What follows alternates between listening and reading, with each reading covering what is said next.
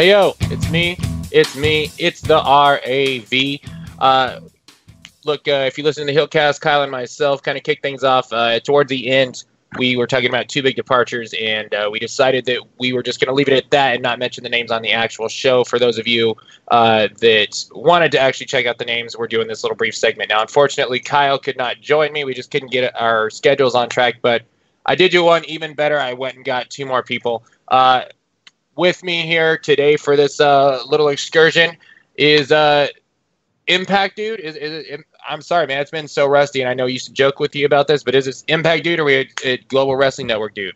Uh, it's not Global Wrestling Network Dude, but it's probably still Impact Dude. They haven't changed their name again yet, have they? Or did I miss that spoiler? Uh, maybe are you the NWA TNA dude, or how about Noah dude, or I don't know. How about that? Noah Noah dude. dude. The Twitch Noah dude. that had the. The, the Twitch Dude. Twitch Dude. There you go. That's actually pretty appropriate. I think I kind of think like a Twitcher kind of works, but it kind of sounds like tweaker.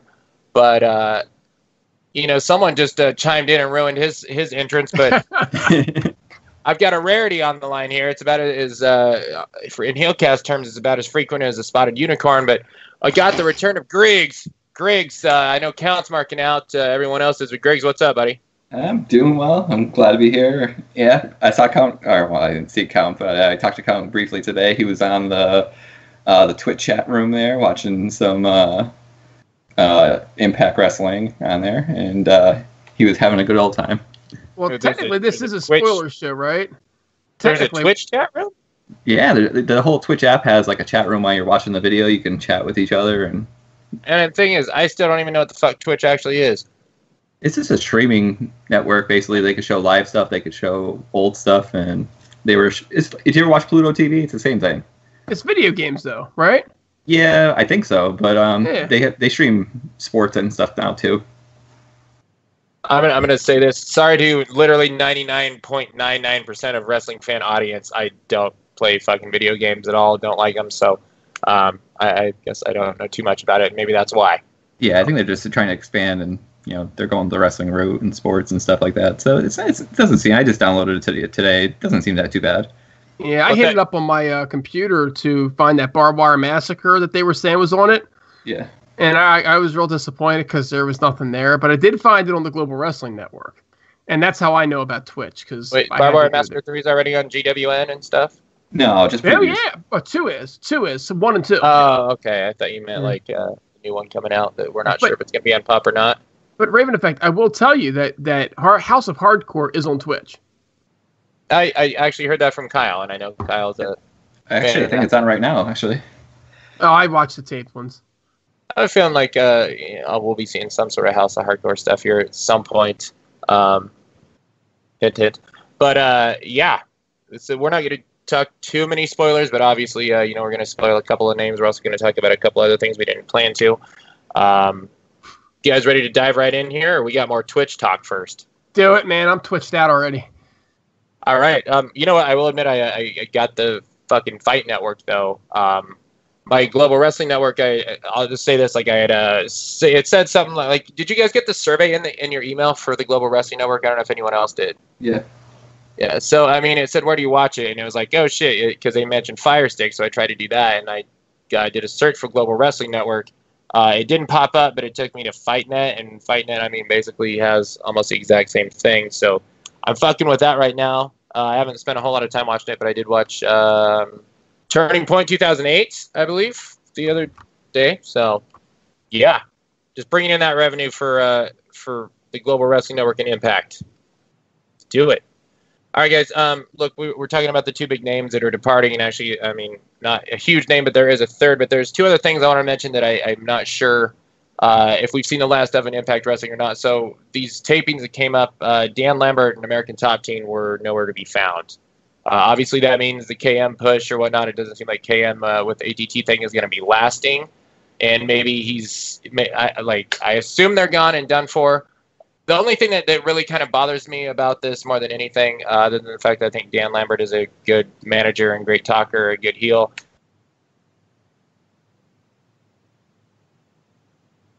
We saw the really the last legend left, other than Abyss and James Storm. Um, the way that he went out on Impact Wrestling Television was to not even continue having this guy on TV uh, and to be gone and drop it, I think that's that's a big fucking insult to James Storm.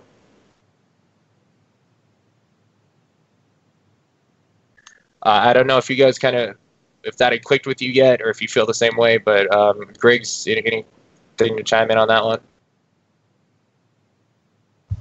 I'm sorry, man. It, it was my recording's fading in and out. Oh, gotcha. So, Greg, I mean, do you have anything that, to follow up, Griggs, with uh, the? We're losing Raven effect, man. well, is it him or is it us? I thought it's him, man. I'm I'm here. You're here. Screw it. Screw it. So this is typical heel cast. So so Greg, seriously, man, uh, James Storm. What are your thoughts on the way that he left? I mean, I'm sure he had to have some kind of say into it. I mean, I don't.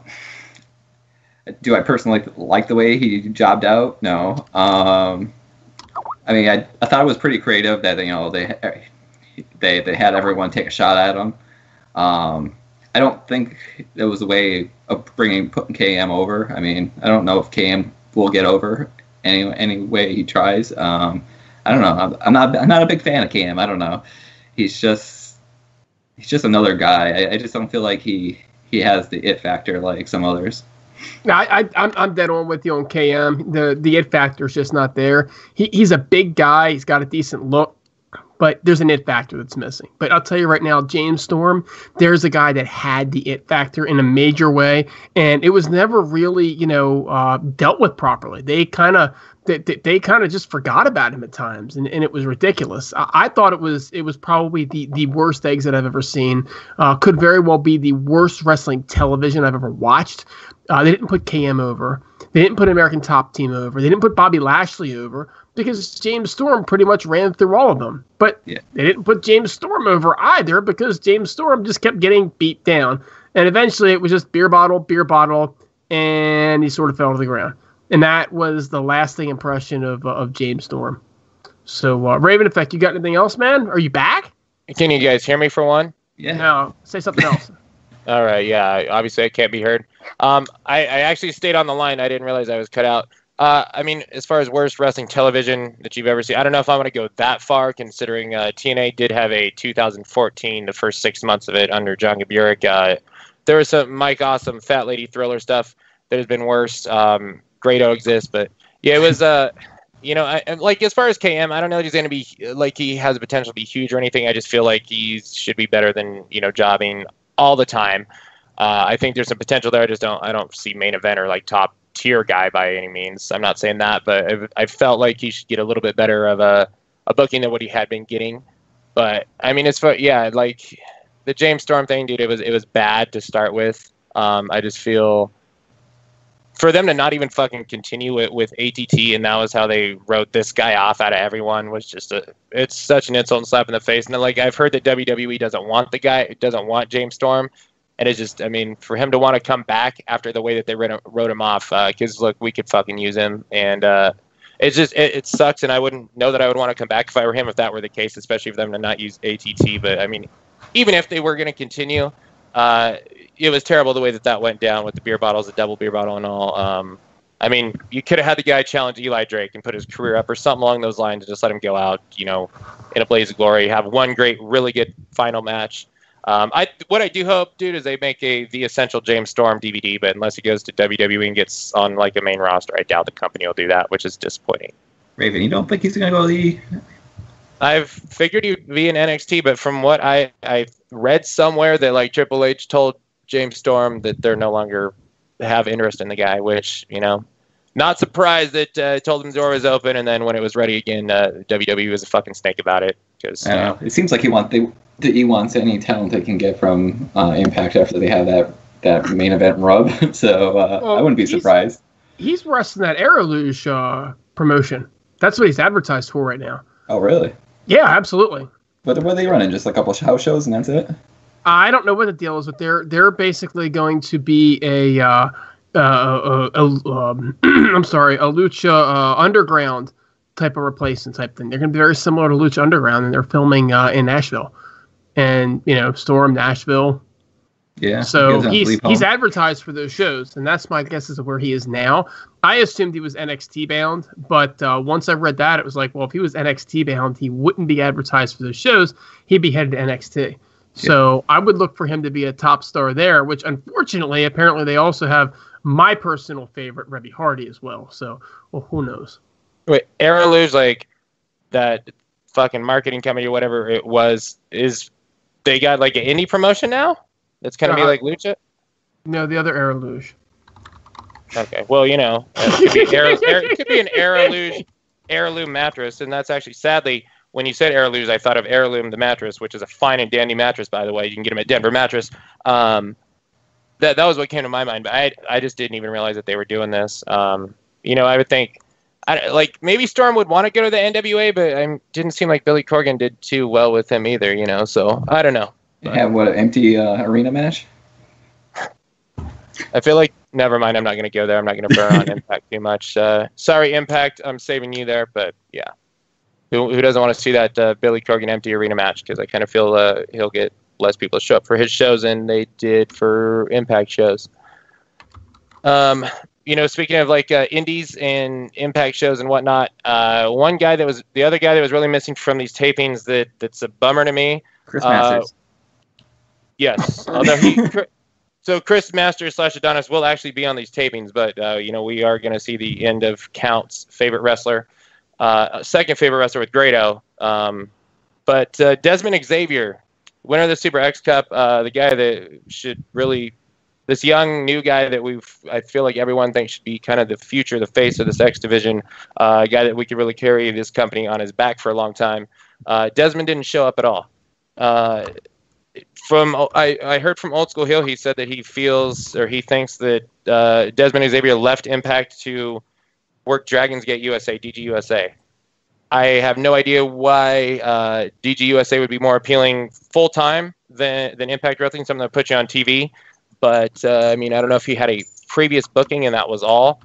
I would still feel like uh, your Impact Wrestling booking would be more important than Dragons Gate. So, uh, Impact dude, anything here on, on the lack of Desmond Xavier? Sucks. Sucks. This is a guy that they need to start building the division around. So as long as he's still on the roster page, then I think we're probably all right. But they need to build the roster around him. But I'll tell you this much. If this was pre-known, this was known ahead of time, and this was known in advance, this explains why he never got the title shot and the, the title in the last settings. I mean, if you remember the last set of tapings, we were saying, why aren't they giving this kid the strap? Why isn't he cashing in this this this championship match and winning it? Right. Well, this could be why if he wasn't booked there. And this is the new this is the new Impact Wrestling, folks. This is the way it's going to be. Sometimes they're going to be there, sometimes they're not. Yeah, I just. Than, I'm, I'm sorry. I sorry. was going to say more than likely he gets his bookings through Impact anyways, or they go through book Impact. So he probably was just booked previously, and Impact just let him go. Yeah, it's it's just like a long time to keep the guy off of TV, and you know the X division, uh, it's going to be getting its. I mean, I don't feel like the X division is being used the way that it was, you know, kind of getting that push back again with Jarrett uh, when he first came back in. But I mean, the X division is not the joke off TV that has no idea what it's supposed to be like it was the previous few years. But yeah, I feel like this guy should really be who the company is focusing around. And you think about like him against Sydal, him against Petey Williams. Uh, there's there's so many good, really good matches I feel that we could have got with Desmond Xavier, and you know the other thing to bring up is the Super X Cup. Uh, I hope that that's kind of a mainstay that they bring back, but for Desmond Xavier to to be gone, I mean it just what was the fucking point in the Super X Cup? I mean the fact that they weren't giving the guy the push to start with uh, after winning all that, but it's literally just why should we care about the Super X Cup again if this is how it's going to be? Uh, I, I don't know if that kind of clicked with anyone else, but it's it's pretty damn disappointing, and I just hope that uh, it's not the case and we get him back. Anything else to chime in on that one? No, I just wanted to throw something in about the Aro Lucha, right? So James Storm did wrestle in one of their events. Uh, the same event had uh, had somebody by the name of John Hennigan you probably never heard of, and another guy by the name of Penta OM. Uh, doesn't sound familiar either. Uh, and some other some other no name named Rey Mysterio was also there. as well as uh, a, a Taya Valkyrie, whoever that is. So it looks like James Storm must have been wrestling by himself. Uh, there was nobody named Sammy Guevara or MVP on that uh, show at all. And uh, this guy named Jack Evans, who's that? He wasn't there either. Um, on the yeah. other hand, Hurricane Helms was there, as was Garza Jr. and La Mascara. So um, yeah, for those for, for those that can tell that I'm being incredibly sarcastic right now, that's a, that's a hell of a card. They filmed in front of uh, a thousand people and sold it out. Whoever the hell that John Hennigan guy is sounds dashingly handsome with huge with an amazing six pack abs. I'm telling you. I heard he makes an impact. Yeah, that's right. You want to bang that? You want to bang that, don't you, Raven? There's, yeah, I mean, like my standards aren't that high. Let's be honest, but uh, yeah, I, would hit it. Um, actually, you, you know, know who's booking that show, right? You know who the head booker is for them, right? No. Oh, I, oh you don't really know nothing about this, do you? I, you're the first. I've just fucking heard it on the air, and Konnan. I didn't even. Konnan. I was kind of kind of guess Konnan, but you know, I felt like maybe that would be stereotypical and you know almost kind of racist in its own right. Uh, and that's kind of a no joke. But, Crash. Crash got yeah. rid of him because he was booking this. I have heard. Okay, I knew that he was done with Crash, and I know Konnan doesn't like AAA, and I know Konnan, you know, kind of gets in beefs with a lot of uh, companies that he works for. But uh, is this shit on TV or is Global Wrestling Network? Nah, man, they have no TV contract, no television deal. Yeah, so they're just as uh, relevant. Actually, they're more relevant just you know from the first couple of days than uh, Jeff Jarrett was with Global Force Wrestling. But, I mean, they have a much better roster. I'd say that. Yeah, although uh, yeah, I think what's Global Force down to like nobody now. But um, one thing, real fast, because uh, Kyle had brought this up on on our past show, and I didn't actually get to get the answer. He, he said, you know, kind of uh, what the hell kind of name is Johnny Impact? Why they go with that? Just for anyone that else that may question this, uh, when he first debuted on W on WWE TV, he was Eric Bischoff's assistant. They called him Johnny Nitro, hence WCW Johnny Nitro. So it kind of made sense to me that he went with Johnny Impact as a spinoff of the Johnny Nitro, as he was, you know, the WCW working for WCW. So Johnny Impact, Impact Wrestling. I'm sure most people kind of got that, but just uh, you know, to answer Kyle's question that I didn't get to, that was uh, there was a case there. See, and I uh, thought he was just trying to steal my gimmick and have the most names ever. Uh, I mean, if he's wrestling, let's see, there is Johnny Nitro, there's John Morrison, there's Johnny Impact, there's Johnny Mundo, John Hennigan. There's at least five. He may have actually already beat you. That's what I'm saying. I mean, it's not over. Impact has to change his name more. The problem is if they change their name, he probably has to change his name too. So I can't get ahead of him at this point. Son of a oh. bitch, I can't win. I'm fighting a battle I can't win. However, Thank God he didn't say- change it to Johnny Global Force. So that's right, Johnny Global Wrestling Network. dude, Johnny Global Wrestling Network, dude. That's gonna Ooh, happen too. Johnny uh, Twitch. You know what though? You ha- you know who you have beaten is um, Papa Shango Kama Mustafa, the Godfather, the Good Father. You have actually beaten him. All right. So Woo-hoo! props to that. Um, I, I, aspire to great things in life. and you're already reaching them, buddy. I'll tell you that. And nothing's beating that Good Father gimmick. Um, look, the other one that left, uh, which kind of been speculated for a long time. I had some harsh words, uh, but Laurel Van Ness, aka Chelsea Green, uh, departed from Impact Wrestling. Look, I obviously I said some harsh stuff on on the previous show. My my thing with her that uh, bothered me more than the other two names that we're going to talk about here at the end is uh, she when she and there, there's rumors that she said it before it was given to her, but she was given the championship belt. She was our champion, uh, and then she requested her release. Uh, we don't know if it was before or after. You know, it's all rumor speculation. But look, the, if you go back during this period when she asked for release, a lot of people were leaving the company, just flying out there. And we had the Jeff Jarrett departure. And what happened with that Jeff Jarrett departure is that there was a lot of time on television that needed to be fucking edited and taken out. So if Laurel Van Ness, uh, you know, they go through and they have this entire knockouts championship. This is the after Gail Kim, the greatest knockout of all time, greatest women's wrestler of all time, retires, and they do this tournament to crown the new the new champ. The girl is going to be the face, and they they give her the ball, um, and she she leaves with it if could you imagine if they would have had to scrap that entire knockouts tournament because the champion is about to go on WWE TV with it?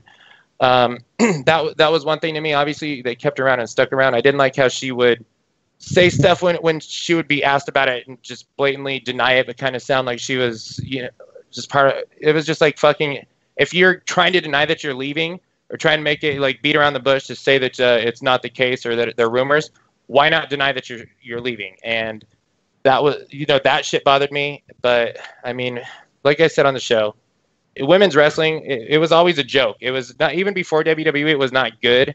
Um, but then they took it into like a bunch of sexy broads, bra and panties matches, pillow fights, all that shit. Like Trish Stratus was a decent wrestler um, that gets more credit than she did because of her tits.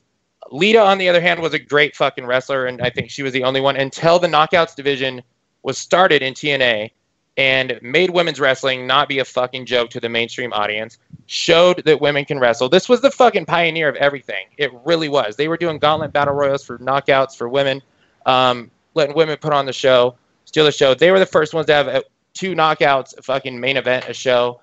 Um, and I feel that for her to be given this belt, this this is the most prestigious women's championship ever. I still don't, don't care to be given that and still say, I want out. I want to go so I can go take a chance and work uh, a women's battle or women's Royal Rumble for the company that actually made what I'm doing a joke to start with. Uh, my little douchebag fucking boyfriend, jobber, getting rich off a terrible TV show that most people look back on and regret ever even tuning into, and anyone that actually watched it enjoyed it was white trash and dumb.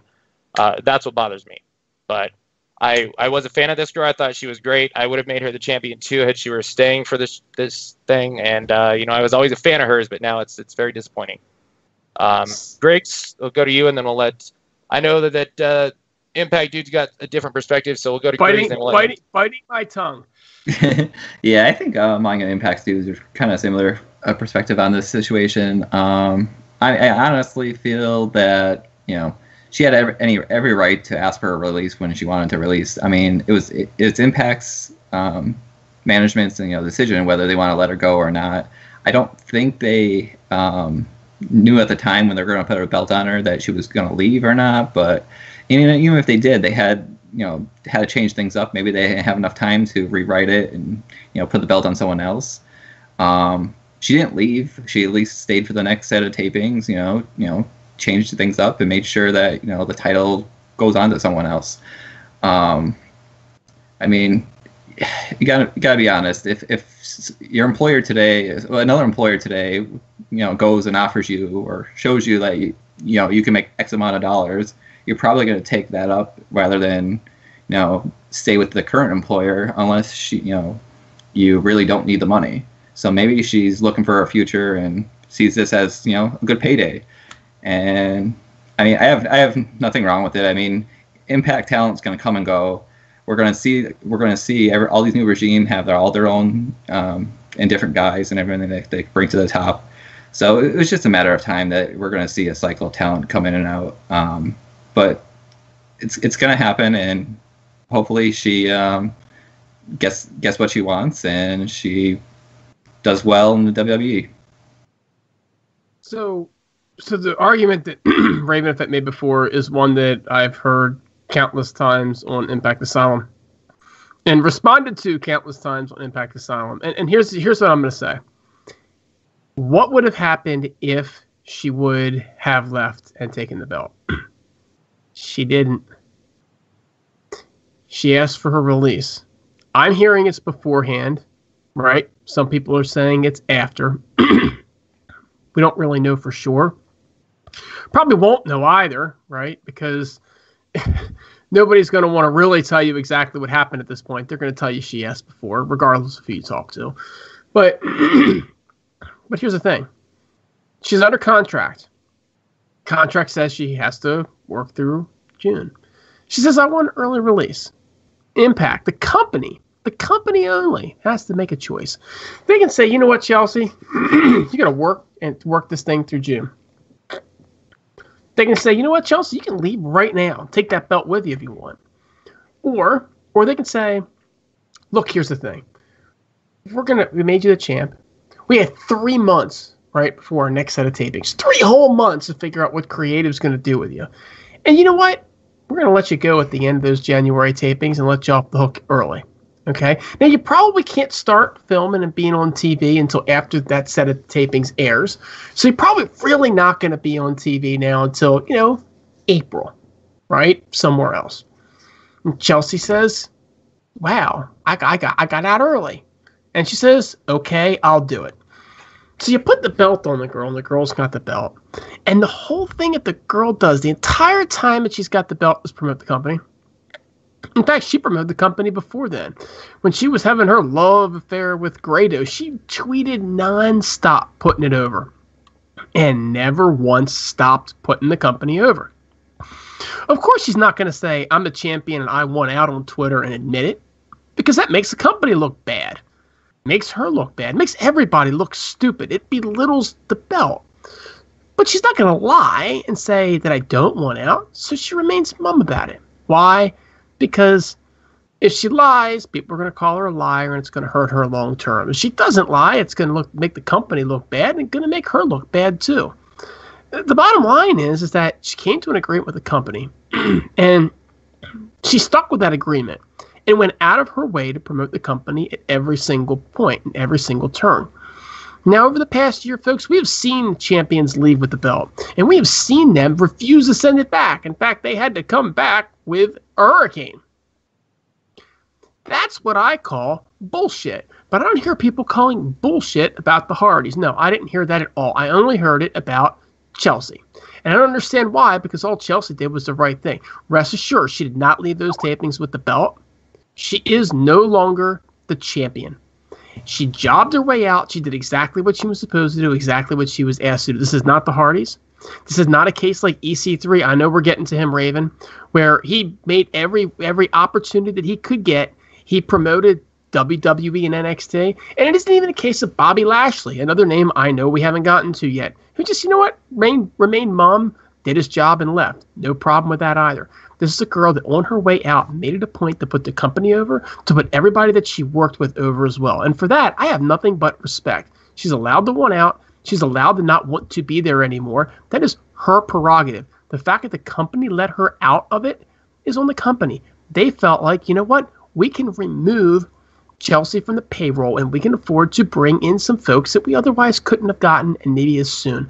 And so as a result, quite possibly we're seeing folks like you know, Kiera Hogan, right, and Su Yung, amongst others that just started. So the bottom line is is that they looked at it as a way for them to free up their their money and they did it and they took it and they didn't want to have to rewrite television yet again because they already had to deal with the fact that Taya had left. So they stuck with the plan to the best of their ability. It's really hard, folks, to write that many uh, shows for television in that short a period of time, and to have to change all of that because somebody who says that they want out is just too hard. I mean, so look, I, I, I understand what you're saying, and uh, I, it's not that I disagree with any of it. I, I do agree with everything that you're saying, but also, uh, I mean, look, if uh, when she said she wanted to release or whatnot, she only stayed there because the employer had the right to refuse to let her out of her contract, and they actually made her come over. You know, uh, who's to say if they would have said fine, she would have just fucking left and never shown back up. Yeah, but that, you can say that about any wrestler like, that's going to end their contract, man. And I feel I mean, like you know what I'm saying? Like you could say that about any of them that want out of their contract, whether they ask for it or not. It's like, oh, I'm only staying because I'm under contract. They honor it. That's the key. She honored it. Yeah, she could have. But okay, and the thing too, like could have been given the belt, whatnot, then show up at the next set of tapings or call them in between and say, look, you know what, I want to finish up at the end of this. Like, if you were going to be given the belt and you knew you were going to be asking for your release, and this is saying, like, maybe she was given the, they knew ahead of time, nobody's going to know one way or another, it's all fucking rumor, speculation. Um, why not decline it and say, no, I, I don't want to be here, I'm not going to disrespect the roster, the championship, the history, the legacy, the company, my peers, the other knockouts and whatnot. And look, I see the way I see it is I feel like when you're given that that belt and all that, um, to leave, especially after like what happened with the Jarrett, all the shit that had been going on with people leaving the company, all the, the you know the edits and stuff that had to put on TV, um, that it's an insult to the other wrestlers, to everyone that's there. And look, maybe some of maybe none of the wrestlers feel the same way. Uh, maybe some do, maybe some don't, maybe they all do. I don't know. I just, you know, if I were in that situation, I would think, you know what, this is a fuck you. Um, and well, they're all pretty me, tight, man. They're all pretty tight. You've seen the picture of her and Rosemary. But Rosemary tweeted, right? Yeah, no. I mean, that's that's I like that's I like I love you. Twitter at all tomorrow. You know what I mean? I that's that's an that's an I love you. You're my bestie for life type of a tweet. So there there's one individual for sure that doesn't have a problem with it because I mean, Greg, you saw the picture, right? It was yeah. all over Asylum. Yeah, we had it on our we had it on our Heelcast as a logo once. Yeah, I mean those two. The, she tweeted that out as you know, bestie, I'm gonna miss you. Best of luck in whatever you do. So I don't know that that they that they do feel that way, and, and I don't know that that you know, I don't know. I, I guess I guess Raven. Part of the thing is because I get where you're coming from too. I, I feel like it's kind of about the people right? And so for for for Chelsea to to want out, that's her prerogative. I, I don't know why she would want to go to WWE. I, I can't explain that. I'm not going to try. That that makes no sense to me whatsoever. I, I don't know why anybody would want to go there. I know there's more money, but it's also kind of like working for the devil. You know what I'm saying? But I guess I feel like she has a right to. But it makes no sense to me that she'd want to. You know what I mean?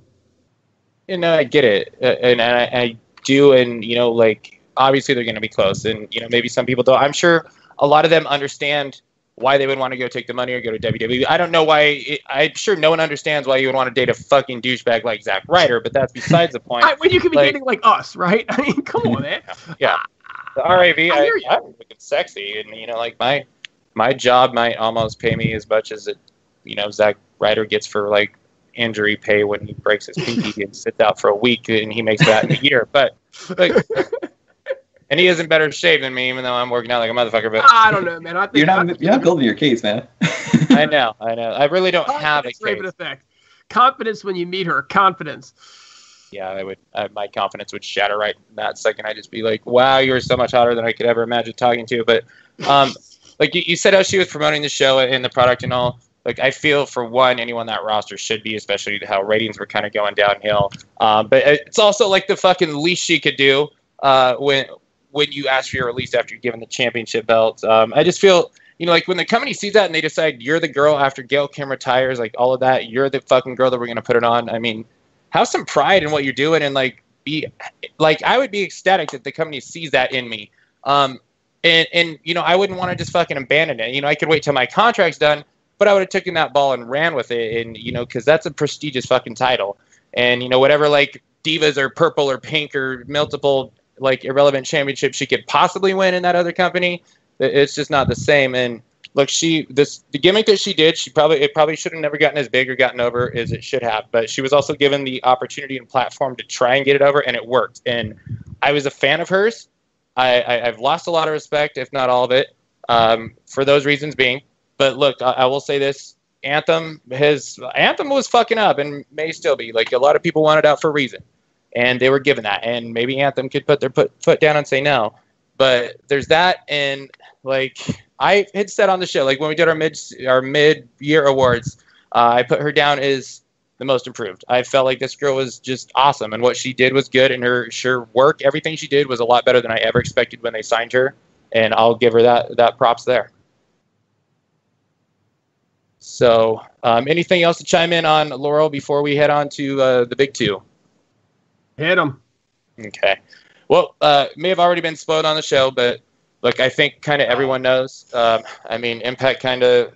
I feel like it's out there from Impact. I, I, saw BQ. Anyone listen to BQ? BQ put up the names on uh, when he discussed it. But um, look, there was rumors for a while now that three guys were trying to were potentially leaving the company. It was Eddie Edwards. Raven Effect does not want to spoil this. It was Eddie Edwards, Ethan Carter III, and Lashley. Um, one thing, Alicia Edwards, Eddie's wife, actually fucking worked these tapings, so I think that may be a good sign with Eddie. But uh, we did lose EC3, uh, and then the next night at tapings, Bobby Lashley bowed out and left. Um, so speculation for a while. Uh, we'll start with EC3. Um, I, I, guess I'm going to say this real, real quick. I don't really know how we're going to go about talking about this, but um, I, I've always said I felt like there were like household names in wrestling. Okay, it's it's a very fucking rare gem, and like my list is gonna. I guarantee, like most wrestling people won't have a list as short as mine. I'll say Hogan, The Rock, Austin, John Cena, Andre the Giant, Goldberg, and then probably Ric Flair, probably Macho Man. I'm sure most wrestling fans will fucking say like 10, 15. It's you are a pro wrestler that someone literally no one will ever have to watch wrestling will still know exactly who that person are. And those are the only names that I can come up with. Like people that will never watch wrestling know who that person is.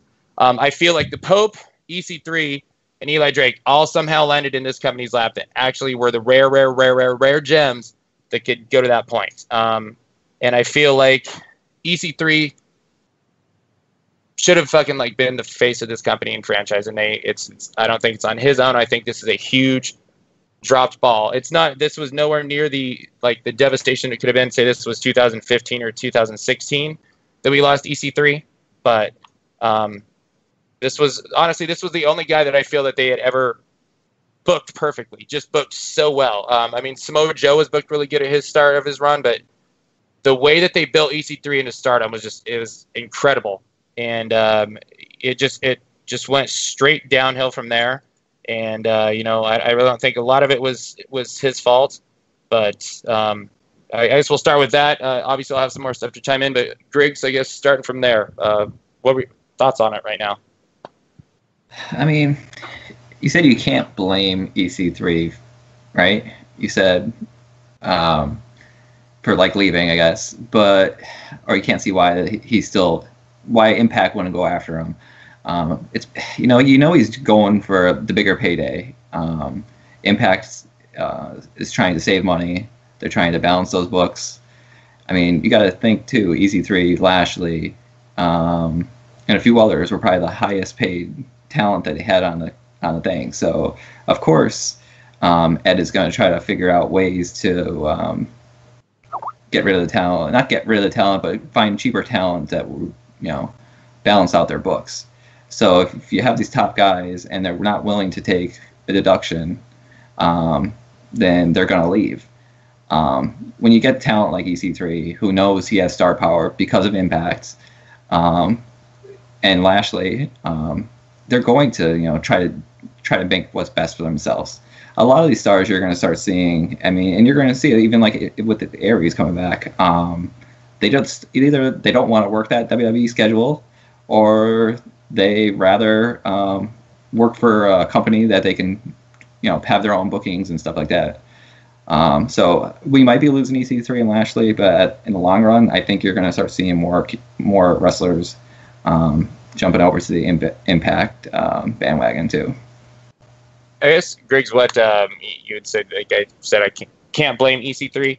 I, I've said this for a while, and I look at it like this: um, when you're basically when you have the opportunity to go there um, right now, why be a mid card in Impact Wrestling and get paid less than what you would be to just go do the exact same thing in WWE or NXT?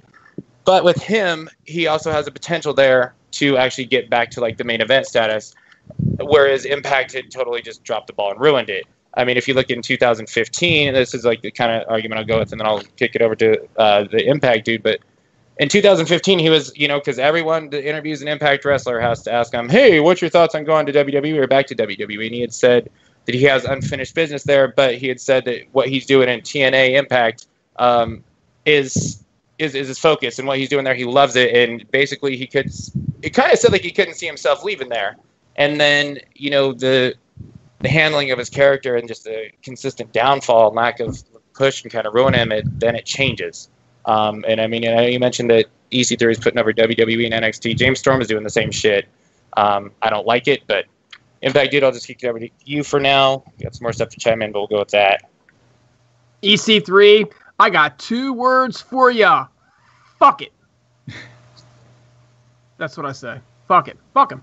I don't care and and and I don't give a crap that he's going either. And, and, honestly, Raven Effect, it's it's for a lot of the reasons that you just gave that that you wish that he would stay and didn't think he was going to go. Uh, but I'm going to look at it from the opposite perspective, which is so cool about the heel cast because we so often disagree, and there's no right or wrong. And and it's it's for one, he always said he always left the door open to go back to WWE. He never closed the door and said, you know what, that was one chapter of my life. My life, I've moved on. I'm here now he always said, Well, I have unfinished business there, but I'm happy where I am. There was always that, man, if I could get back, I'm going to go back. And you know, I don't, I don't fault him for feeling that way. I, I don't fault him for wanting to be back there because that is the pinnacle for these folks, and we have to remember that. What I do fault him for is that as soon as that push that he got started to stop, remember he was the greatest heel they ever had. I mean, the guy was just awesome as a heel. He was that smarky, rich kid but as soon as that ran dry a little bit, and they got forced, and they really were forced to make him a face, to make him the face of the company, right? It was over in London, if I remember correctly, that they that they that they turned him face, right? as soon as that happened, he really wasn't a very good face, and that's fine. It's it's it's really hard to get people to like you, but trust me, I can make people hate me really fast. But as soon as it started to go down a little bit, all you started seeing was him start to tweet more and more and more about WWE and NXT because because now he wasn't the golden boy of the promotion anymore. He wasn't getting the super push that was going Bobby Lashley, right? And so if I'm the booker and you're working for me, and as soon as you're not the focal point of the company, you're starting to act like that. I'm thinking to myself, you're not staying anyway. Why should I continue to give you that push? Why should I build you even bigger so you go to the competition big? Why don't I put that money to somebody who won't do it? Why don't I put that money to Bobby Lashley, who's going to be nothing but a team player? Why don't I put that money to Eli Drake, who is, again, nothing but a team player? Why don't I build a new star? Why don't I see if I can't find somebody to replace you? Because I can. Because the power's in my hands, it's not in yours. And the more that that happened, the more he started to tweet more and more about NXT, more and more about WWE, to the point where he wasn't just slamming Impact, but I didn't like it very much. He was brought in to be a Carter, let's not forget that either. And that probably weighed on him because all of a sudden it's like, well, I'm Ethan Carter the third. I can't say who needs the world needs Carters anymore. He could have found something different, right? He could have tried. He could have worked a different uh, a different angle. He could have been a little bit more of a team player that way. You know, we didn't have any problem with with Rosemary acting as a manager for the first year. All she did was get herself over completely. We didn't have a problem with Allie not being able to wrestle and, and, and being a, a complete, I don't know what you want to call it, knucklehead, right? No, no, no. She worked right through it, became one of the most over characters on the show along with Rosemary, right? And then when Rosemary got the belt and dropped it, no big deal. It, it helps prolong my character, get to do different things now, right? Allie, same way. She's she's worked this thing. Laurel Van Ness, again, one of the one of the craziest gimmicks of all time. Never should have gone over. Never complained. Managed to get dropped at the altar twice, and possibly a third time. By the way, don't don't want to ruin the spoilers. And made the gimmick work. But EC3, he just kind of like, eh, I'm gonna dial it in. His wrestling matches weren't the same. Okay, his his feud with Storm was great, but that was because Storm was carrying it he just he wasn't he wasn't the same in the ring. His promos weren't the same. And when I listened to him, he just he just wasn't the same guy. He wasn't the same character anymore. And if I'm WWE, I'm taking note of that. And I'm saying to myself, do I really, really want to invest a lot of money in this guy? And the answer is, well, if I do, I'm probably gonna get something, right? But let's bring him in and we'll see what we do. Let's take him to NXT for a while. If he'd have been top star and impact on his way out the door, right, Bobby Lashley style, guy would have been promoted straight over to Raw. I don't see any reason why. So that's kind of that's kind of the way that, that, that I'm seeing this, and that's why I'm saying a lot of the same things that you're saying, Raven Effect. But while I saw all the potential and I love that character too, I just didn't like the fact that he kind of turned on the company it really left a bad taste in my mouth. So you know what? Have fun in NXT. I got nothing but love for you, man. You want to go there, knock yourself out. Do, do your best, become a household name. I think it's fantastic. I love to watch people succeed. But if it doesn't work and you're coming back to Impact Wrestling, don't expect me to still be a fan of yours because you weren't a fan of ours, and that means something to me. I mean, like obviously, uh, as far as liking WWE promoting them, I'm probably the biggest hater that, that there is. You know, I, I kind of feel it's a two edged sword with EC3.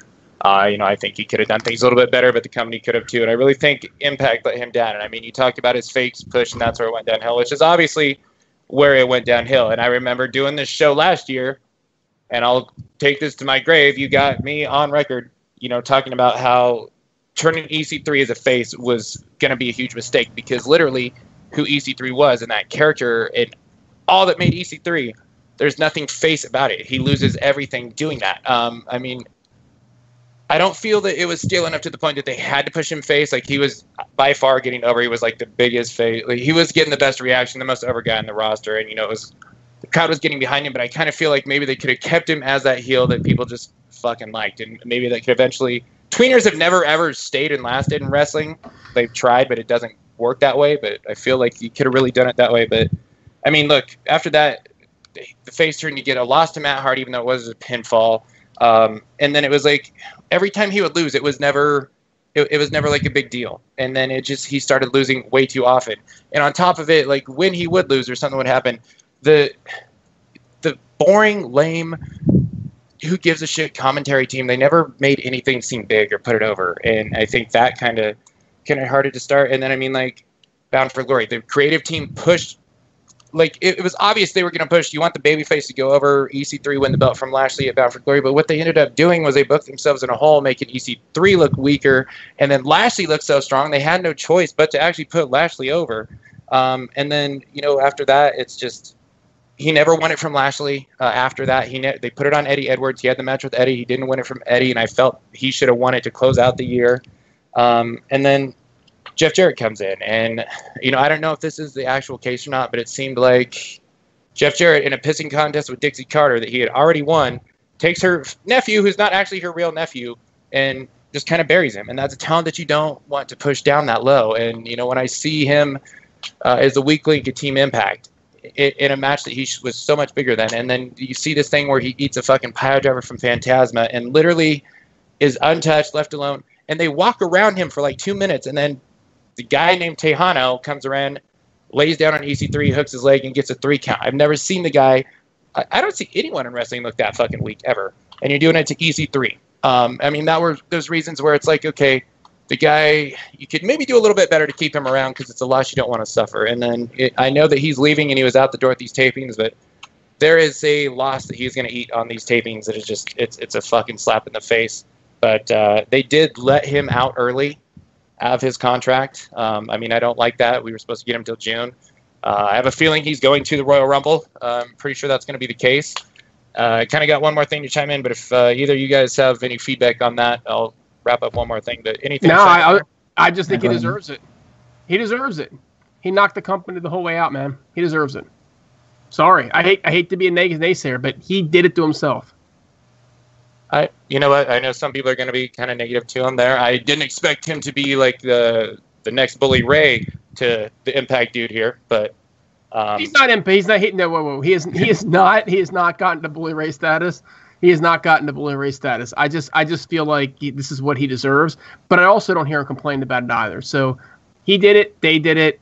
He's moving on. They're moving on, and I don't see any reason why anybody should have, you know, a foul word to say uh, about him. I wish him well in his future endeavors. I really do. I'm just I, I'm just sore on the fact that nobody's giving him a hard time, but but they're giving Chelsea a hard time. That's the part that gets me.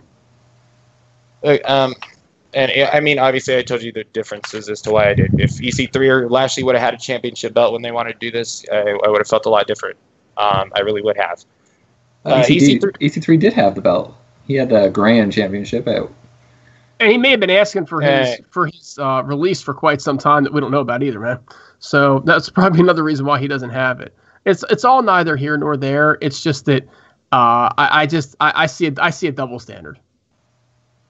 You know, I'll, I'll say this: like EC3, and you know the other thing too is, I mean, maybe because these guys were the fucking top of the card made main event for a reason, and you know, Chelsea Laurel was not. Um, you know, I mean, we don't see us. You know, Chris Adonis Obviously, Laurel got a little bit more over than Adonis, but you know it's it's a big difference when these are the top guys. The, I mean, they main evented Bound for Glory just the year, you know, two Bound for Glories ago. Um, I'm just gonna look. EC3 is my favorite wrestler. He became my favorite wrestler. Um, now it's, I mean, it's kind of a toss up. It'd been him, Aries, and uh, Eli Drake. You know, I, I can't tell you exactly who is my top person there out of the three, but uh, it's obviously not EC3 anymore because for a company I don't support. But um, you know, I've got like I've got the EC3 hoodie, man. I've got his uh, one of his pro wrestling tees, the other pro wrestling tee with him and Rockstar Spud. The looks like they're butt fucking each other. That says friendship. Um, you know, I've I, I, love the guy. I'm invested in him. Um, I'll never refer, like I I do want to say thank you for the memories, like the barbershop quartet, um, the stuff you know, the funny stuff he did with Spud, that epic match that him and Spud had, and uh, like the, I think the favorite for me was when he sang Shinron's song that time. Uh, I just thought that was hilarious, but it's a double-edged sword for me because you know the the I want to see him have all the success in the world because I do think he can become that fucking household name kind of a star. Uh, he's he's a great looking guy. Uh, he's got charisma, promo, interview, all that. That's that's through the roof. But then I don't want the WWE to get that success either. Um, you know, he's going to have Spud there with him. That the two of them together for a bigger audience can, can go huge. Unfortunately for them, they've got shitty writers that are going to kind of wreck that and you know kind of derail the possibility. But I would love to see the guy get all the success and become this huge name, but I just can't. I, I don't want that company that he's going to go work for to get that success again. I I literally fucking want that company to die. But um, best of luck to EC3, I guess. Guys, anything else? So I'm taking that as a no. Um, and then the last, uh, we lost Bobby Lashley. So uh, I'll say this: uh, I think Bobby Roode probably had the best world title run in the company's history, but I think Bobby Lashley is the best world champion in the history of Impact Wrestling. Uh, with Lashley, um, the credibility, uh, you know, like he's an MMA fighter. There's a lot of credibility that he adds to the roster uh, that, that is leaving, and I think Lashley. Um, all my years watching wrestling, I don't think I've any I've ever seen anyone make such a drastic turnaround from their career. Uh, you know, last year went kind of green, not that good in the ring, couldn't cut a promo, to literally uh, being the total package. Uh, you talk about a guy that's got a, a like a look chiseled out of granite, uh, but Lashley became a guy that could cut a decent promo. But better than anything else is he could he could have a great match with literally anyone. Um, and, and I think the other thing that's devastating about that is there's not a whole guys left on this roster that can do that, and they just lost one of them that can. Uh, and it's uh, it's very disappointing to see Lashley leave. Uh, Griggs's thoughts on Bobby Lashley? The hell was that? um, I mean, I I agree with you. I mean, I think that um, Lashley definitely was the most improved since his return. Um, he was definitely green before, but um, I know. I mean, I I don't know if he's the best you know world champion they ever had, but I do agree that um, he did uh, did carry the company through some hard times. Um, he was a, a great world champion for them, and um, he definitely is going to be missed. Um, he always, uh, you know, held the company high when he when he spoke of the company. He never um, talked about WWE, how he wanted to go back, and all this other stuff when he was there. Um, so he was a company guy. So it's it's rare to see a company guy or a company girl um, nowadays. Um, there's a few of them I mean, that you can you know pick from the Impact roster that supports the company through thick and thin. Um, Rosemary is another one, um, but those those are the people you want working for your company, and that's kind of how I feel. Where Anthem decides, you know, if you want your release, you then have your release because um, they they want to have company character, company employees who want to actually work there and not just jump ship. Um, so I'm hoping that's that's the case, and we start seeing more people actually want to work for the company and not just you know get a paycheck. When uh, when Eric Bischoff got to uh, TNA, I guess we'll call it, one of the first orders of business, he, he fired Bobby Lashley so Bobby could go off and do, you know, uh, do MMA stuff. And I remember thinking at the time, man, this guy, he's got a great looking guy, but he sucks. He sucks so bad. Uh, but I love this girlfriend. I, I, I, thought she had, there was something to her, right? She had a bit of an it factor. She could talk. Uh, and, and, and I figured we, we kind of miss her. And, um, and so I literally, you know, when he came back, I was like, oh, good God, they brought Bobby Lashley back, right? And they gave the belt to EY, and they were supposed to give the belt to MVP, but MVP got hurt, if you guys remember. So they gave the belt to Lashley, and I was like, oh, great, you know, they gave the they gave the belt to second fiddle because they couldn't come up with anything better. And and if you remember, that was a pretty bad time for Impact booking wise. We just come off of the reign of Magnus, right? EY you know, he, he put himself over when he was champion and after he was champion. But, you know, at the time he became champion, I was probably the only person that marked out for it. Um, and, and so, and, and so, and so there it was. You're this guy that wasn't all that good and they put the belt on him. And it was hard. It was really hard to get into that title run, but, but it got better as things time went on.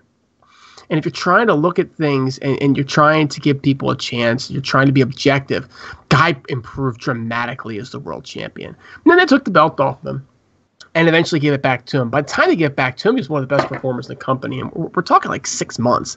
Maybe it was a little longer than that, but it wasn't a whole lot longer. The guy went from nowhere to a star that fast. And the reason is, quite frankly, Bobby Bobby Lashley's a worker. Bobby Lashley came to work, and he did and he was never a big guy on Twitter, you know, not, not a whole lot of promotion to things because he was he was a blue collar. I, am going to go and I'm going to work, right? And he did MMA and, and he worked at that too. And while I'm still not convinced he's the, the, the best mixed martial artist on, on the planet, I have a mad amount of respect for him and what he's done in mixed martial arts, but he's a worker and that's what he did. He literally became uh, one of those talents. You know, Raven Effect, you mentioned before about people that fell into the lap, and, and you mentioned the Pope, uh, and and my God, that, that that guy had the it factor. What what a miss! You mentioned EC3. I agree with you. He should have been the face of the company for years to come, and and and and his secondary, his his right hand guy, uh, so to speak, his his macho man should should should have been Eli Drake, right? Totally agree with you on, on all those counts. But but Bobby Lashley's also that once in a lifetime generation talent. Once he got his, his his speed under him and really committed himself to it, him asking for his release, I don't think is a surprise to a whole lot of us. I, I think we know he he doesn't really know what he wants to do. Does he want to do MMA? Does he want to do wrestling? He's a little bit older. His his time's getting to, to come around again. If he wants to go back to WWE, now's the time. So he's really got to make some life decisions, and and he asked for his release, and they had absolutely no reason not to grant it to him. Guy did everything for the company. Every time they asked Bobby Lashley to step up to the plate, he gave a five star five star match. Guys, don't have to have a whole lot of flips for five star matches, but uh, there, there's there's a particular move that, and I'm, I don't want to give away too many spoilers that, that comes out of this next set of tapings, which is just freaking off the charts phenomenal. Okay, amazing that that that, that a man his size, you know, d- doing this kind of stuff. He answered the call absolutely every single time. Mad respect for the guy, right? Mad love for him. You want to go to you want to go to WrestleMania? Go to WrestleMania. I, I might even watch it okay, I'm not going to watch it, but sorry, Lashley, I still love you anyway, bud. The bottom line is mad respect for the guy. He did everything the right way. The, the only thing that, that I keep coming back to is I don't understand why people aren't lumping Chelsea in the same group because I see it the same way. But mad love to you, my friend. You gave us a lot of memories, and, and I'm going to agree with Raven Effect. I'm going to say you were the best world champion ever, and, and I'm going to say your title run was was better, was absolutely better than uh, than Bobby Roode's his very last title run, the one that uh, was ended by Eddie Edwards, was it's on par. It, it, may be better, maybe as good, or just a little bit underneath it um, than Bobby Roode's. I'll, I'll, admit that. I think overall he was our best world champ, though. Um, you know, it's. Uh, I, I, just want to go back to uh, you know you talked about how when he came in, he thought he sucked so bad. Uh, I agree, he did suck so bad, but he also sucked so bad at both MMA and pro wrestling, and I thought that was funny. But I mean, you bring up uh, him winning that world title at Slammiversary, and uh, I always remember this is because this was before we did the the heel cast, uh, and we got to, when we knew each other that well. But I remember uh, both the TNA dude at that time and myself were both kind of losing our shit on Impact Asylum, no. uh, and we were bitching about the same reason. Yes, sir. Yeah. Can you hear me? Cut out of me. I can hear you now. Okay. You may have been uh, talking. You may have been talking. I just couldn't hear you. Oh, okay. Well, uh, regardless, you and I were complaining because Impact just put uh, the world title on a guy who not only wasn't that good in the ring, but also sucked at MMA. Uh, and that was like uh, you and I really kind of were having the exact same gripe on it.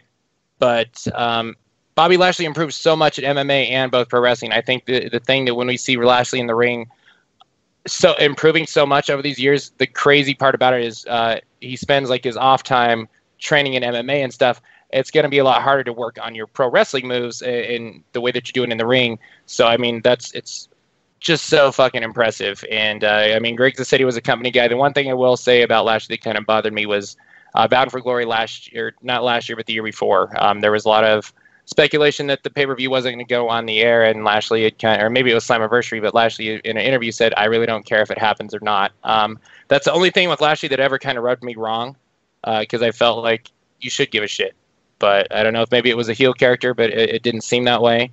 Um, there is, a, uh, from what I understand, I've heard it from Hurls, who uh, is credible about half the time.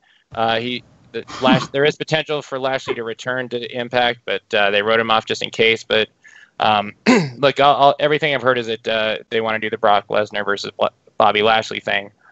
My my complaints with that is I just feel WWE is going to go in there and they're just going to have Lashley get jobbed out and you know kind of embarrassed and made to look second fiddle to Brock Lesnar because honest to God, if they had those two fight MMA, I will bet anyone my entire fuck like literally you could kill me. Um, but Bobby Lashley kicks the living shit out of Brock Lesnar, and I, I just feel like he's gonna made to really be made to look fucking second fiddle to Brock if they do the WWE thing. And um, I just hope. Uh, honestly, though, can I ask a question? Uh, who cares?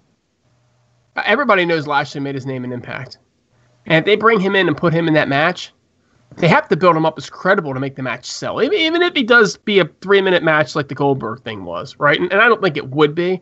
He does the job. We all know he does a job. Look, you go to WWE, you do the job. That's the way it works. But what a promotion for Impact. Yeah, hopefully. But I mean, I mean, uh, you know, it's actually good marketing. there's plenty of promoting uh, for Impact on WWE, TNA, NXT, TNA, uh, but our you know our ratings have still been dropping quite a bit. So, uh, I mean, who knows? But uh, like also Bobby Lashley, I want to thank you for the memories, uh, everything you did, great matches that we've had, um, absolutely you know killer stuff. And uh, I hope that he does return at some point. I would like, honestly, if he doesn't come back to Impact, what I want to see is Lashley focus on MMA. I want to see how he does because I think he could possibly become heavyweight champ in Bellator age wise, he's getting up there. So if that window closes, uh, it's coming pretty soon. Um, I, I guess you know the kind of the last thing I, I kind of want to go on here, guys, is uh, Impact. What was it? Don Callis and Scott D'Amore. It kind of said not too long ago that what they're going to do. It's kind of be like, like kind of revolving talent. You know, you mentioned the new Impact. Uh, they're going to sign and keep like a few guys and kind of build the company around a few guys uh, or a few wrestlers, I should say. Um, and then everyone else is kind of you know, independent, indie kind of stuff going down. I just feel like wouldn't these be two guys that you would want to build the company around and kind of focus around? I feel like these are two talents that uh, you just are so hard to to just fucking let go of. I mean, I can if you look, I look at it like this. So Eli Drake and Austin Aries are the the two, the two that they need to fucking focus the company around. Um, and then you've got your Moose, Eddie Edwards, Rosemary, Ali, and I can't think of that much more. And I say that because look, Alberto, he's already said he's he's not going to wrestle for much longer. He's going to retire soon. Johnny Johnny Impact. Um, I mean, is he really a full time contract? Like, how long is he going to stay with his lucha thing? Can they can they actually build around him, sign him to a contract, sort of a thing? Um, so that's that's a very small handful of talents I can think of, and I may not be thinking too much off the top of my head. I'm sure I've missed a few uh, good wrestlers on there, but I mean, there's not a whole lot, and I feel like those two are a necessity. Uh, I don't know if uh, you guys agree there. Well, I just feel like it might not be their choice though. What if you know EC3 already had his mind set that hey, I'm going to WWE. This is my time to go, and I'm going to go now. So no matter how much Impact throws at them, he, at, at him, he might just want to go that WWE route. Um, you know, like you said, Lashley on the other hand, um, there's still a chance, you know, that he, he could come back. Um, that it works in his schedule if he really wants to do the MMA thing. Um, but yeah, it just might not be his. Cho- he might already had his decision made. A lot of this guys is uh let's just call it a spade a spade. It is you know is is words. So i don't know if you guys remember or not but uh, don and scott did you know one of those phone calls uh, last week i guess it was. And i was on the call and i asked this exact question straight at don. I said look you know you've, you've mentioned that you want to have this core eight talent. Can you can you tell us about this core eight talent and, and start to identify some of the folks that are core eight and um and and and he said well it'll become a little more apparent when you see the tapings. But it's fluid and it's going to change because somebody new could come in and and and and nail it and somebody else might not be over and so we have to allow be you know to change which is all true right? I mean we get this. We're not stupid. We realize that the core eight's not going to be there forever but i specifically said can you identify talent that you're going to be that you've got that you want to see with you for the next three to five years there's no reason why he couldn't have named some of the ones he expect to be there for the next three to five years. And then if it changes, it changes. I mean, we're not going to hold it to him, but uh, but they wouldn't, and it was telling because I don't think that that talent necessarily has been identified. And they're certainly not ready to commit to that talent. And, and I, I get it. If you have a guy that's on the bubble and on the outside, you don't want to say, hey, you're not one of the guys. I kind of get it. At the same point in time, the way you're booking them, you're going to know who that core eight is. So it's pretty apparent. Uh, but it was it, it- a lot of it's just lip lip service. But these are two guys that I would put in there. And to be frank, when I asked the question, I was trying to get something out of them to see if they were going to mention one of these two names. Frankly, Yeah, thank you. I mean, I, I would love to get the answers too. Um, I hope it's Eli Drake and Austin Aries is the main two. Um, I mean, Griggy said maybe it's not their choice, and you know that's the case. Just it just it's so frustrating to think uh the way that this company was growing at one point, um, and just how fucking far downhill they went. And I guess you know it's like how the company, Jeff Jarrett stayed around, and Hogan, Bischoff, Dixie, Gaburick came around, I mean, maybe we'd be able to keep a lot more of these talent, you know. And it's just it's disappointing as hell. It's on the company. Uh, you know, we Kyle and I kind of had this talk uh, like in our chat and all. I just feel like yeah, everyone wants to leave for their WrestleMania moment. Uh, I'd like to hear people say they want to stick around for a Bound for Glory moment, but then again, it's on Impact Wrestling's fault for uh, you know Bound for Glory moment not being that relevant or anything. Um, but I mean, you kind of look around, and guys like uh, you kind of need like that veteran or that over presence to kind of get other talent over uh, and and the veteran and stuff. And we don't have anyone anymore. Like literally, there's none, um, and that uh, that's a tough thing to deal with. There, there's Abyss, uh, but I don't know that he really kind of gets that reaction that you would have got from like a, you know Sting, James Storm, uh, eight, for two extreme levels there. Anywhere from someone as big as Sting to is you know Impact legendary status is someone like James Storm. Um, yeah, I mean, Kyle said uh, that we got to create new stars. It, it, what he said was really genius, and I know uh, Greg kind of like what he said too. But like, don't give up on Impact. We've got to really create new stars. Uh, and they've got to step up. And I feel they've got to lock down. Uh, they got to build around Eli Drake and Austin Aries as the main two. Uh, Rosemary, I, I put in that top three. But um, I don't. Do you, do you guys feel the same way about the roster? Anything you want to add there? As long as Rosemary doesn't leave. yeah.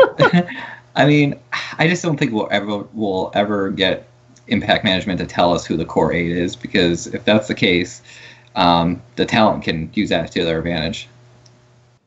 Well, in theory, they should lock them up before they make them the core eight. True. So if you're going to make them the core eight, you sign the big contract and go, look, this contract makes you core eight, and you're core eight. I mean, that's you know what I'm saying. But um, no, I, I, don't expect him to tell you exactly who all the core eight are. But they could have they could have acknowledged that you know, hey, we want Eli Drake here to be up for a very long time. We want to keep Rosemary as the faces of their division. And you know what? We're gonna we're gonna we're gonna see who else you know jumps up. But these are our top dogs, and, and I don't see why they couldn't have named somebody like that. You know, maybe they want Alberto El Patron as one of them, but they could have they could have mentioned names. They could have literally given guys that have more than a six month deal in it. And I guess the thing I look at is eight. Eight is uh, not a very big number. You know what I mean? Uh, there's telling us there's really eight people we can really get invested in, uh, and that that kind of sucks. I would like to maybe see it 16 at some point, you know, but maybe the company will grow, maybe it won't. But we just, I have, I do have some trust and some faith in Don Callis and uh, Scott D'Amore right now, and these do these tapings do sound good to me. I don't know if you guys felt the same way, uh, but I think highly of them. Yeah, I think everything from what we read, I think everything so far looks pretty pretty good. I mean, I think I think I think you said this on Asylum that um, that uh, that Scott and uh, I can't think of his name, Cyrus, uh, have done more than what Billy Corgan has done in like his whole his whole TNA career. So uh, under this one set of tapings, it's just, it's a truth from if you from what you read. Um, the only thing good from the Billy Corgan area was um, the Hardy stuff that JB basically produced. It um it, it definitely came off as, as I don't say crash TV, but it was uh, not, not total nonstop action. If you don't mind me using the uh, over over used word that we probably shouldn't say anymore. Um, it goes back to my own name, but uh, at the same point in time, in terms of confidence, you know that we're gonna have to see. Uh, Don in particular said a few things on that conference call that concerned me. Uh, he said that um, the business has changed, that the territories are no longer a viable option. And I get what he was saying as he was saying it. Uh, he was mentioning that the wrestlers now have the ability to promote themselves and they hold the marketing power for themselves. And that's why they want to let them keep the gimmicks right? Because they're the ones that are going to be doing the promotion for the company, and and and literally they can do a better job at marketing for the entire company by using Twitter and other social media that the company itself could never get that that large of an audience because they're hitting so many different people that the company may not hit. The fact that territories are dead now, that killed me because it's like, wait a second, how are you ever supposed to run live shows and draw revenue if you're not having a territory to draw people from. And we see them still utilizing Orlando and, and, and trying to hit the Ontario, whether it be Ottawa or now Toronto areas. And to me, that's them territorializing those areas. And I think territories are a great thing. I think they're a necessary thing if you're trying to draw live fans. That's what Ring of Honor does, is what WWE does. How do you get people to watch the Global Wrestling Network if they can't come to an event and get invested in the talent? Right? So I, I, I get I get a little bit of it, but it's still kind of concerning that he's so dismissive of that.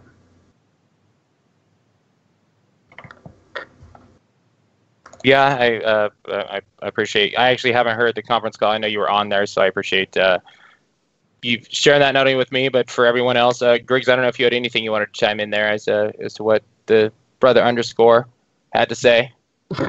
No, no, not no. I'm I'm right on with them. Um, I, I did listen to the the recording um, that they had, um, but it is. I mean, you we don't know what's going to happen. Um, I think he has a different mindset than some of the things that we're used to. Um, you mentioned briefly, um, Raven, about how the company may be, may be different if all these other people didn't come in. Um, if Jeff Jarrett was still in charge, um, I don't think TNA would be around if Jeff Jarrett was still in charge. Um, I think Dixie saved the company for a while, um, and then it just got too too much. Um, you know, high, you know, all this high payroll and everything like that. But we are where we are now because of bad mistakes. Um, Don and and Scott are going to try to you know solve those bad mistakes, and all we have to do is wait and see if they're the savers. Interesting, Griggs. Um, I mean, obviously, we're not going to get into this discussion. I'll, I guess to maybe clarify, I was saying like, uh, you know, from 2002 through 2009 when Jeff Jarrett was, you know, kind of running things and before Bischoff and Hogan came in, uh, the company was steadily growing each year, and uh, you know it was slowly but surely, and it seemed like eventually they were going to become competition to the WWE. I mean, when people came in and changed the entire identity of what TNA was, and you know all that, we all know what happened. Uh, so that I mean, that's what I was getting at there. Uh, if that makes more sense, but obviously it's not a discussion. I think we want to spend another hour on, but a different show perhaps. Um, guys, I'm going to kind of give like a, a, closing thought that I've kind of been wanting to say for a little bit here, but uh, anything else to chime in before I go there? Knock yourself out, buddy. All right. So, um, look, when the when they kind of changed the name to GFW or whatever, I mean, Slammiversary time, July. Um, I actually kind of tried to start writing a column for Impact Asylum about this this kind of a topic, uh, and it didn't work. But I just didn't have time to do it. But like one thing I want to say, and Kyle actually uh, had said something on the show. Uh, actually, real quick, Griggs, uh, the thing you said about Don and Scott doing more than Billy Corgan already, that was actually something Kyle had said on the oh, show okay.